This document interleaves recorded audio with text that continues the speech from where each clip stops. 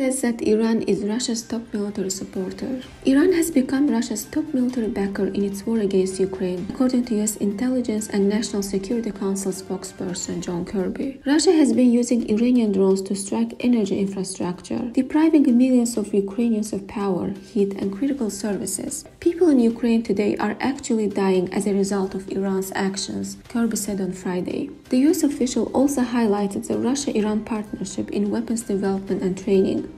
He warns that Russia might provide Iran with advanced military components, including helicopters and air defense systems. Similar concerns were voiced by UK Foreign Secretary James Cleverly, who described Tehran-Moscow military ties as a threat to global security, stressing the delivery of hundreds of Iranian drones to Russia Cleverly said that Iran had become one of Russia's main military supporters. Ukraine and Iran have been in a political row over Russia's use of Iranian kamikaze drones in its deadly airstrikes across the country on 17th of October. Ukrainian President Volodymyr Zelensky has said that around 10 Iranian drones were being shot down in his country per day.